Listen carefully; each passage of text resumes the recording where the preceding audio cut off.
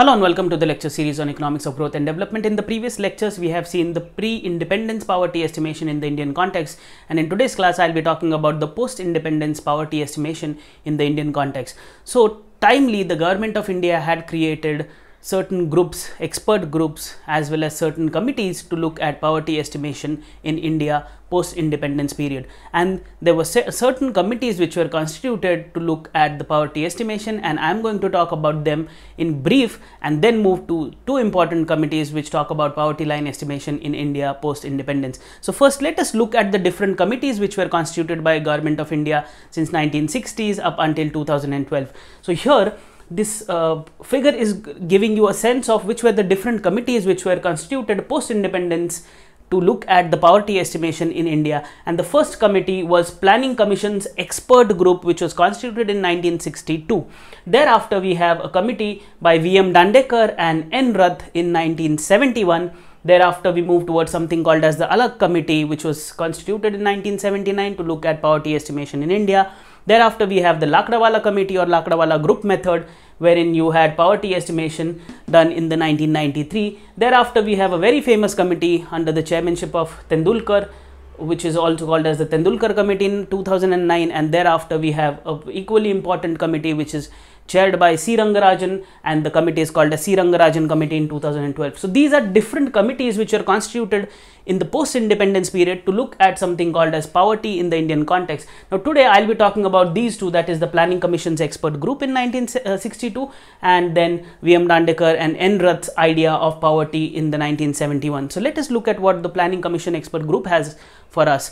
So this group was constituted by the Planning Commission to look uh, to look at poverty estimation in India and this group gave separate estimates or se separate poverty line estimates for both urban as well as rural parts of the uh, country. And therefore this is if you look at it this was the first separate poverty line estimation post independence period for both rural as well as urban areas in the country. And for rural areas if you look at it it was rupees 20 per capita per year and for urban it was rupees 25 per capita per year. So this is how the planning commission expert group which was constituted in 1962 looked at poverty lines separately for both the rural parts of the country as well as the urban parts of the country.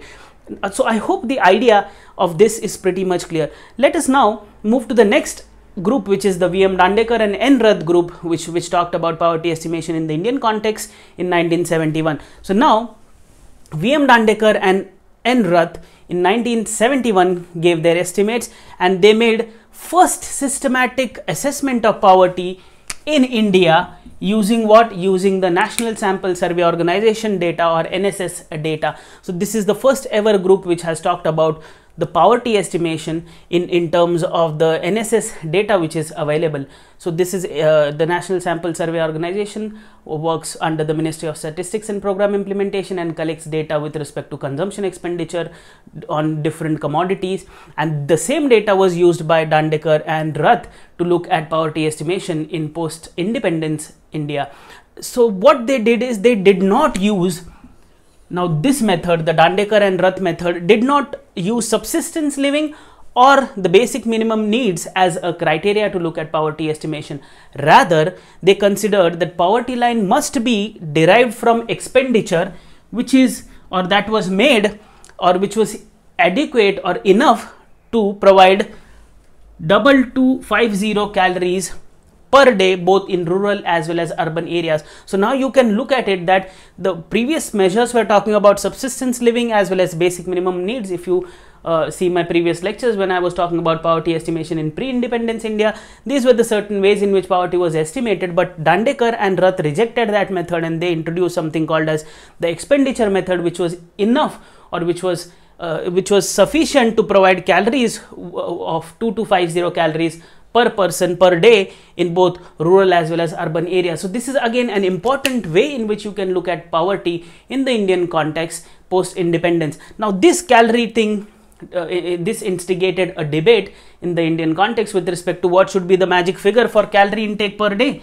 So this is how uh, the, the, the further uh, revision of poverty line has taken place in the Indian context and we will see that with respect to the different committees which I have talked about when I started the lecture. So I hope the idea of both the planning commission expert group in 1962 as well as the Dandekar and Rath estimates of 1971 is pretty much clear with this lecture. In the upcoming lectures, I'll be talking about the Alagh committee, then the Lakdawala, Tendulkar and Rangarajan committee and give you also a sense of the comparison of um, the important ones at least in the Indian context. So please stay tuned. Thank you.